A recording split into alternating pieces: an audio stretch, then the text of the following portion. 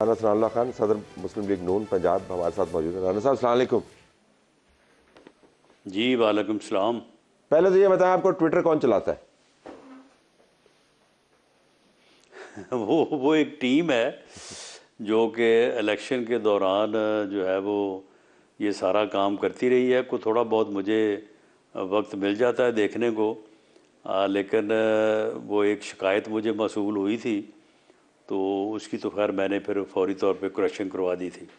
लेकिन काफ़ी front foot पे खेल रहे हैं आजकल। ये कोई स्ट्रेटजी है नहीं आपकी? आ, नहीं मेरा नहीं ख्याल कि कोई क्योंकि उस दिन के बाद फिर मैंने ये कहा है कि जो भी चीज़ आप करें तो उसमें पहले मेरे से जो है वो अप्रूवल ले लें। तो को मेरा ख्याल है कि अगर आप किसी चीज़ की निशानदेही करें तो मैं उसका बेहतर जवाब दे मुतहरक हो गए आप ज़्यादा। आप मुतहरक हो गए हैं वहाँ पर जो भी बात आती है उसका जवाब आता है। पहले काफ़ी बीच में मुजमहल किस्म का काम था लेकिन अब लगता है कि आप ने काम जो है उठा लिया है कि जी अब जवाब ज़रूर देना यानी इसमें इसमें इसमें क्योंकि पहले जो है वो कोई इस तरफ़ इतनी ज़्यादा तवज्जो नहीं थी। भी हमारी पार्टी की मीटिंग चल रही थी पार्टी मामला थे। अब जब इलेक्शन में फिर इसकी ज़रूरत पड़ी इसको पूरी तरह से फंक्शनल किया तो मेरा ख्याल है कि वही वही स्पीड जो है ना वो चल रही है अभी। ज़रा छठा एपिसोड के ऊपर वापस आते हैं जी। आ, सुप्रीम कोर्ट के जज के ऊपर भी इल्ज़ाम है। चीफ इलेक्शन कमिश्नर पर भी इल्ज़ाम है। वो सुप्रीम कोर्ट वालों ने तो जो करना है वो उन्होंने किया। चीफ इलेक्शन कमिश्नर ने भी अपनी कमेटियाँ बनाई वो भी हो, हो गया मामला। मैं आपसे जानना चाह रहा हूँ कि अब ये एपिसोड जो है इतने दो दिन गुजरने के बाद आपको कैसी लगती है? क्योंकि चटा साहब जो है ज़ाहिर है नोन है आपके हलकों में। हमजा शहबाज का उन्होंने बड़ा काम किया हुआ है। बुजार एडमिनिस्ट्रेशन के अंदर भी वो मौजूद थे। तो हम इस्लामाबाद में बैठ के ज़रा इसके गहराई में जाना चाहते हैं कि आपको क्या लगता है?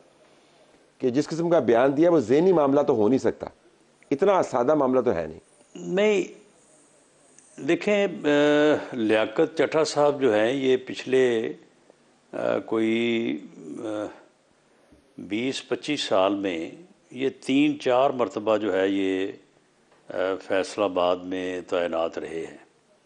को आज से कोई चौबीस पच्चीस साल पहले ये वहाँ पे सिटी मजिस्ट्रेट के तौर पे भी रहे हैं।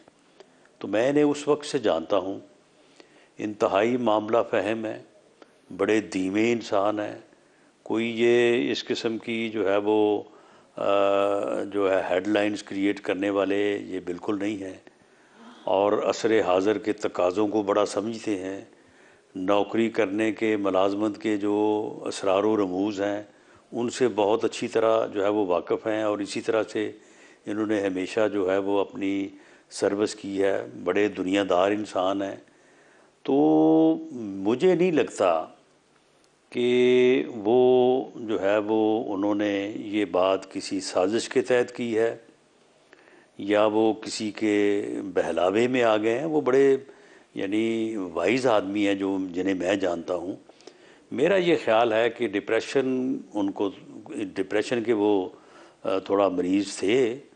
और ये कहीं कोई ऐसी उनके ऊपर सूरत वारद हुई है कि उसके वो अग्रेशन में जो है वो चले गए हैं?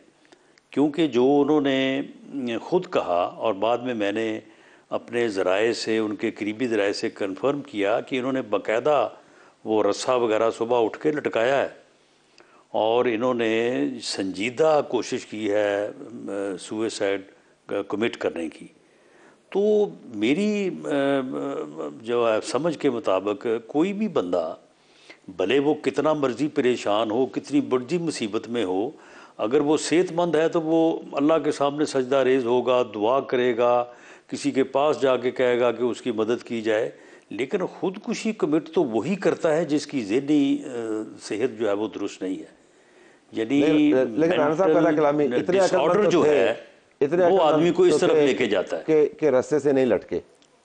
इतनी अकलमंदी तो बाकी थी ना कि रस्ते से नहीं लटके। नहीं बिल्डिंग से छलांग नहीं लगाई नहीं तो पिस्तौल नहीं इस्तेमाल कोशिश तो अकलमंद तो थे। कोशिश सूट टाई पहन के नहीं लेकिन कोशिश तो की ना। नहीं पता नहीं कैसे लेकिन चले इतने अकल ने इतने अकलमंद थे कि लटके नहीं लेकिन इतने बीमार तो थे कि उन्होंने कोशिश तो की ना।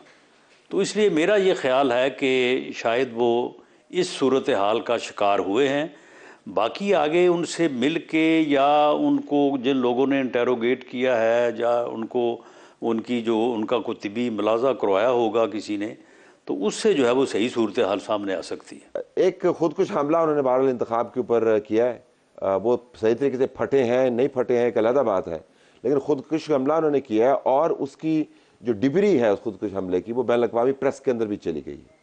अब आप देख रहे होंगे प्रेस के अंदर यही बातें हो रही हैं कि देखें एक अफसर ने जो है ये बात बता दी और ये बारिश का पहला कतरा है। तो इंटेंशन जो भी हो, नुकसान तो हुआ ना? राना साहब, इससे कि नहीं हुआ? नहीं, देखें, अब इसको तो हर आदमी जो है वो इंटरनेशनल प्रेस भी और बाकी लोग भी जो है वो हर आदमी इसको अपने जो है वो मानों में और अपने तरीक़ाकार के मुताबिक लेगा। आप मुझे बताएँ कि विदाउट एविडेंस आप जो मर्ज़ी कहते रहें। वो भाई, अगर आप इस अपना जो है वो प्रोसीजर से मुंसलिक थे और आपकी मर्ज़ी के ख़िलाफ़ हो रहा था, वो तो आपको इनकार करना चाहिए था, वरना आप उसकी एविडेंस बना लेते। आजकल तो ये वीडियो हर किसी के हाथ में मोबाइल है, किसी को कहना नहीं पड़ता, कोई बंदोबस्त नहीं करना पड़ता। आप उसकी वीडियो बनाते, आज उसको चलाते, चला के कहते कि जी, ये एविडेंस है और ये मेरी स्टेटमेंट है। अब देखें ना, ज़ुबानी कलामी तो फिर जो मर्ज़ी को कह दे। और इस तरह से ज़ुबानी कलामी कहना जो है, वही जो है वो इस बात को साबित करता है कि उनके पास सबूत कोई नहीं है। और फिर देखें, फिर उन्होंने इल्ज़ाम किसके ऊपर लगाया है? चीफ जस्टिस ऑफ़ पाकिस्तान के ऊपर। भाई, चीफ जस्टिस ऑफ़ पाकिस्तान का क्या तल्लक है इससे? चीफ इलेक्शन कमीशन, भाई, चीफ इलेक्शन कमीशन आपको फ़ोन किया है? आपको उन्होंने कहा है, डिस्ट्रिक्ट रिटर्निंग ऑफिसर जो है, वो इलेक्शन के मामले में बरह रास्त इलेक्शन कमीशन के मतहत होता है। कमिश्नर तो उसमें फाल ही नहीं करता। मासवा इसके कि वो एक इंतज़ामी ऑफिसर है सीनियर लेवल का। तो इसलिए इस बात को अगर आप तरीके से सलीके से देखें तो ये एक ऐसा ही दावा है जैसा एक अफजल खान साहब भी जो है वो आए थे। उन्होंने बड़ा तैल का मचाया था। तैल का तैल का तो मच जाता है लेकिन बाद में फिर निकलता कुछ नहीं है। लेकिन डैमेज मेरा नहीं ख्याल डैमेज नहीं हुआ क्या? क्योंकि ये तो पीटीआई के बयानिए को नेक्स्ट लेवल के ऊपर ले गया ना फिर। देखें डैमेज डैमेज तो फिर जो है वो मीडिया में बहुत सी बातें लोग कर रहे हैं और तजिए पेश किए जा रहे हैं। और बाज़ लोग ऐसे ऐसे आपने तजिया नगार बैठाए हुए हैं कि बस क्या बंदा कहे कि आखिर तजिया नगारी और मुबसरी के लिए कुछ ना कुछ तो क्वालिफिकेशन होनी चाहिए ना। तो मसलन तो कोई, कोई, कोई, कोई खास काबिल एतराज़ तजिया जो आप कोट करना चाहें। देखें एक बहुत बड़ा चैनल जिसको बहुत बड़ी व्यूअरशिप जो है वो देखती है वहाँ पे ऐसे तजिया नगार भी जो है वो इलेक्शन जो जब कमेंट्री हो रही थी इलेक्शन का रिज़ल्ट दिया जा रहा था ऐसे बैठे हैं जो पब्लिकली ख़ुद को कहते हैं कि मैं इमरान खान का मैं इमरान खान का। और वो जनाब उन्होंने तजिया नगार बना के वहाँ पे बैठाए हुए हैं। तो फिर क्या क्या बंदा वहाँ पे कर सकता है?